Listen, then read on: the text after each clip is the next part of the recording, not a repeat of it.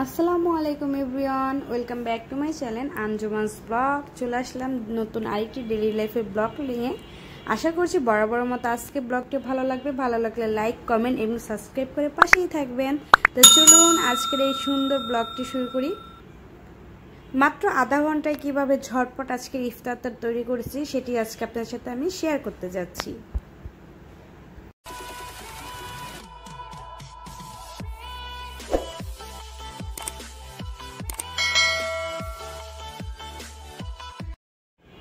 তো আজকে তো বাসায় একদমই একা মানে কেউই নাই তো সবাই একটু ব্যস্ত আজকে। তো আজকের ইফতারটা আমাকে একা একাই করতে হবে। তো হঠাৎ করে কোরআন শরীফ পরে উঠে দেখি মাত্র আধা ঘণ্টা হাতের টাইম আছে।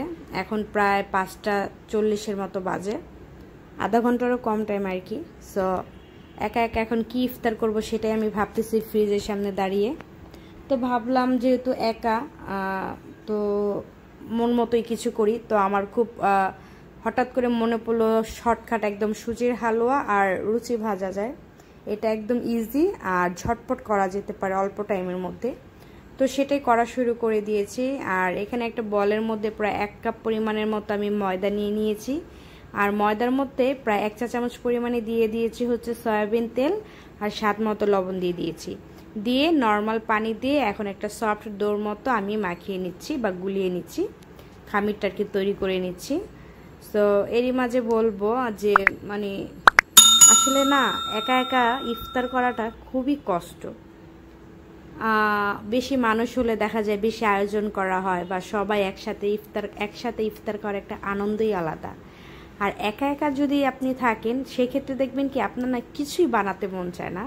আর ইফতার করতেও মানে খুব কষ্ট হয় একা একা ইফতার করতে। তো আজকে আমার সাথে সেটাই হয়েছে।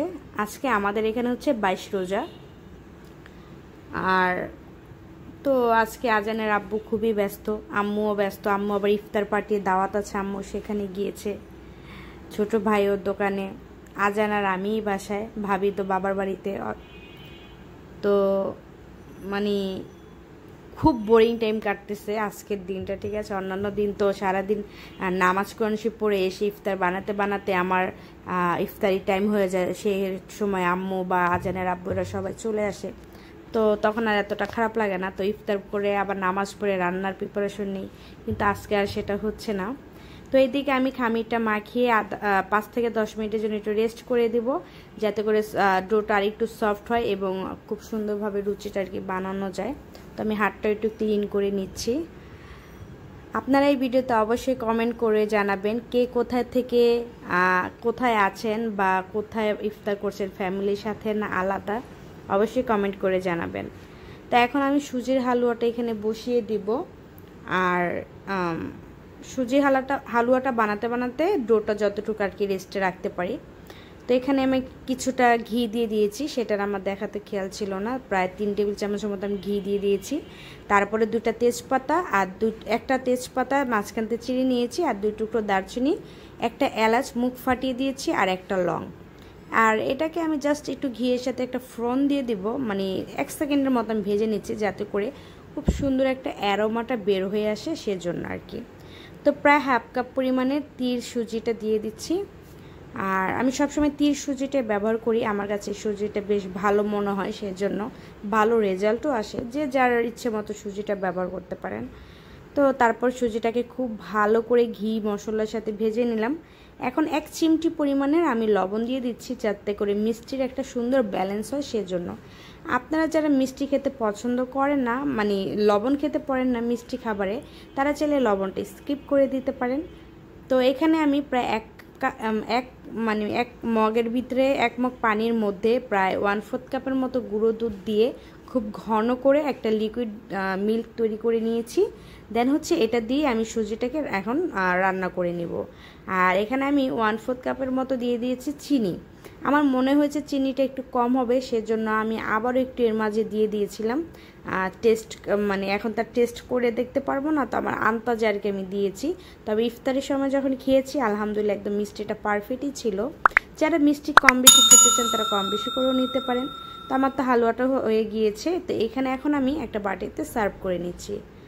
আর হালুয়াটা দেখে বুঝতেই পারছেন এটা কতটা লোভনীয় হয়েছে মাসাল্লাহ আর খেতে কিন্তু দারুণ মজা হয়েছিল। আর যারা সুজির হালুয়া পছন্দ করেন তারা তো জানেনই। আর এখানে আমি পাঁচ ছয়টার মতো পেস্তা বাদাম মিহি কুচি করে কেটে নিয়েছি। জাস্ট আমি উপর দিয়ে একটু সুন্দরের জন্য আর কি দিয়ে দিচ্ছি। এটা অপশনাল আপনি হাতে কাছে চাইলে দিবেন, হাতে কাছে না থাকলে দিবেন না। তবে কিশমিশও কিন্তু আপনারা চাইলে দিতে পারেন বা অন্য যে কোনো বাদামও দিতে পারেন। তো এই তো আমার এখানে সুজির হালুয়াটা রেডি হয়ে গিয়েছে। তো এখন আমি ঝটপট করে আমি রুচিগুলো ভেজে নিব। তো এইদিকে বেশ খানিকটা আমি তেল গরম করে দিয়েছি, আর তেলটা লাল দেখে কেউ ভয় পাবেন না। এটা হচ্ছে সানফ্লাওয়ার অয়েল তো এটার কালারটা এরকমই।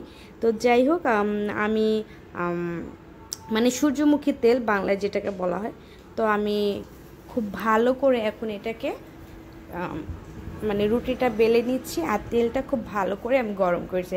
আমি ভুলে গিয়েছিলাম যে তেলটা খুব ভালো করে গরম করতে হবে। তো আমি হালকা গরমের মধ্যে যখন প্রথম রুচিটা দিয়েছি, তখন কিন্তু রুচিটা অত ভালো করে ফুলেনি। যখন পরের রুচিটা আমি ফুটন্ত গরম পানির মধ্যে দিয়েছি, তখন খুব সুন্দর করে ছটপট করে কিন্তু ফুটে উঠেছে।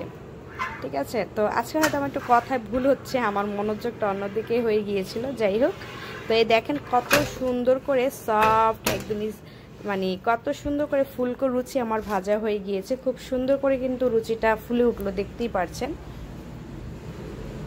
তো খুব সুন্দর করে আমি এখন রুচিগুলো এক একে সব ভেজে নিব। তারপর আমি ইফতার করতে চলে যাব। তো এখন বাজে হচ্ছে ছয়টা বিশ। আর হাতে আমার পাঁচ মিনিট সময় আছে। আজকে যেহেতু ছাব্বিশে ইফতার সো আর মাত্র পাঁচ মিনিট সময় আছে আমার হাতে। তো এরই মাঝে আমাকে একদম ঝটপট করে করতে হবে। তো আমি যতটুকু পারছি আপনাদেরকে আমি দেখিয়ে দিচ্ছি। আর এই তো, আর কি বলব, রুচি তো আর আলাদা করে কিছু বলার নেই, এটা আমরা সবাই কম বেশি পারি। তবে চেষ্টা করবেন রুচির যেই খামিরটা নেবেন, এটা একটু অল্প করে নিতে আর একটু ভারী করে রুচিটা বেলতে। এতে করে সবসময় কিন্তু রুচিটা পারফেক্ট হয়ে মানে পারফেক্ট হয় আর কি, আর খেতেও ভালো লাগে। খুবই সফট হয়। চেষ্টা করবেন আটার ময়নটা যখন তৈরি করবেন বা ময়দা দিয়ে যেটা দিয়ে করেন, সামান্য একটু তেল ব্যবহার করতে এতে করে খুব সফট হবে। তো এই তো একটা রুচি ভাজা হয়ে গিয়েছে, আমি একটা প্লেটে তুলে নিচ্ছি। তো আমি এখন আরেকটা রুচি ভেজে নিব আর সেটা আপনাদের সাথে আমি শেয়ার করছি। আর দেখেন রুচিগুলো খুব সুন্দরভাবে কিন্তু একা একাই ফুলে উঠবে। কোনো ধরা টরা লাগবে না, দেখতেই পারছেন মাসাল্লাহ প্রত্যেকটা রুচি কিন্তু আমার সুন্দরভাবে ফুলকো হয়েছে। স্কিনে দেখে তো তা আপনারা বুঝতেই পারছেন। তো এভাবে একে একে করে সবগুলো রুচি আমি এখন ভেজে নিব। তারপরে আমি চলে যাচ্ছি পরিবেশনে। তো এই তো, এটাও ভাজা হয়ে গিয়েছে। এখন এটাও তেল ঝরিয়ে আমি নিয়ে নিয়েছি। তো প্রিয় দর্শক, এই ছিল আজকের আমার ঝড় পট একদম অল্প টাইমের মধ্যে ইফতার, আলহামদুলিল্লাহ। তারপর আল্লাহ রিজিকে ইফতার রেখেছে, নিরাশ করেনি সকর আলহামদুলিল্লাহ, যাই হয়েছে। তবে আজকে আর আমি ট্যাঙ্ক বা অন্য কোনো শরবত করিনি। আজকে নর্মাল আমি এখানে ঠান্ডা পানি রেখেছি, একদম বরফ ঠান্ডা, একদম তৃপ্তি করে খেয়েছি। আর এই তো এখন আমি রোজাটা খুলে নিব। অলরেডি আজান দিচ্ছে, আমি সাউন্ডটা মিউট করে দিয়েছি, যাই হোক, আজানটা দিচ্ছে। তো এখন আমি রোজাটা খুলে দেন হচ্ছে আমি ইফতারটা করা শুরু করে দিব।